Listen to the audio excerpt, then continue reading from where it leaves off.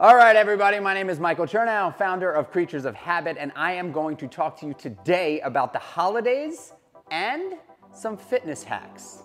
Here's the deal.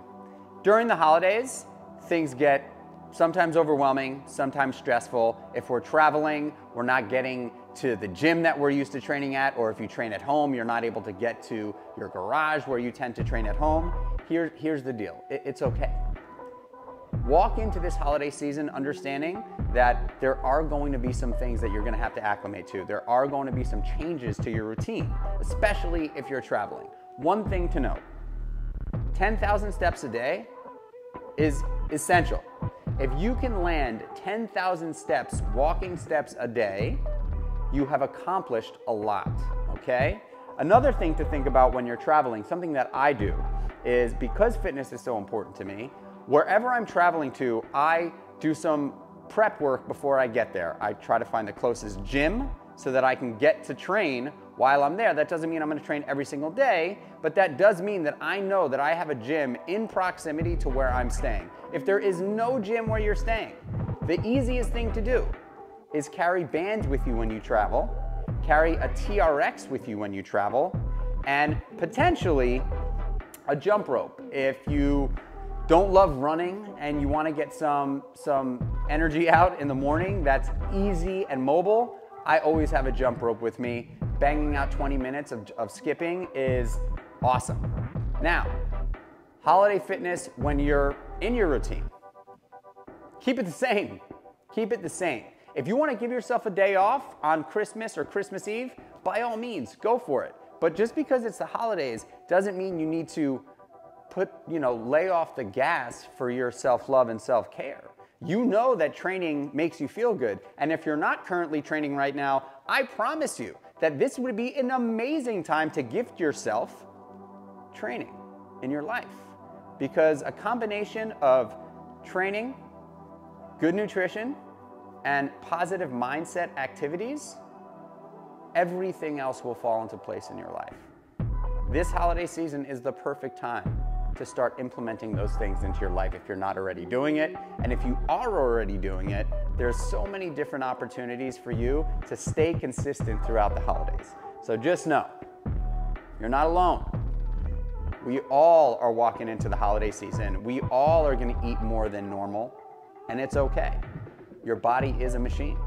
And even if you fall off the, off the rails nutritionally over the holidays, your body will come back to what it knows best, where it feels best.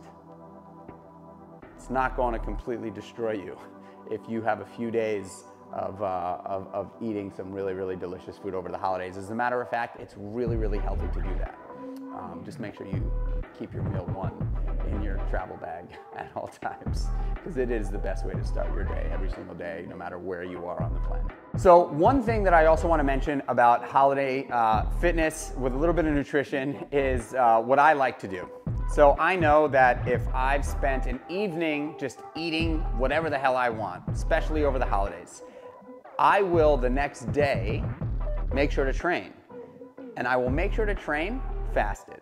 Fasted training is something that I've been accustomed to for a very long time. I, I trained fasted for years bodybuilding because I wanted to make sure that I was not adding body fat to my body composition. So I always trained fasted. Now that I've transitioned more into CrossFit, I really do like to have some nutrition in me because the, the workouts are, are, are, really intense, a little bit more intense in terms of uh, volume than my bodybuilding stuff CrossFit is volume packed into a very, very short period of time, which takes a lot of, of energy. So, if you've overeaten on the holidays, don't beat yourself up.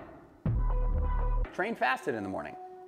Train fasted in the morning. You're gonna have enough glycogen in your, in your muscles uh, to really get through an intense workout the following morning and potentially burn off some of that potential fat that was going to accumulate over eating lots of food the, the day before. So don't beat yourself up. Be easy on yourself. Allow yourself the, the, to treat yourself over the holiday season. But like a few little hacks is, you know, training fasted in the morning. Or if you're not going to go lift weights in the morning, go on a go on a fasted jog. You know, go burn some some of that energy off uh, in a jog. it, it's, uh, you know, it's, it's totally possible to get through the holidays and eat well um, and not put on a bunch of body fat. So just know it's possible and you can do it.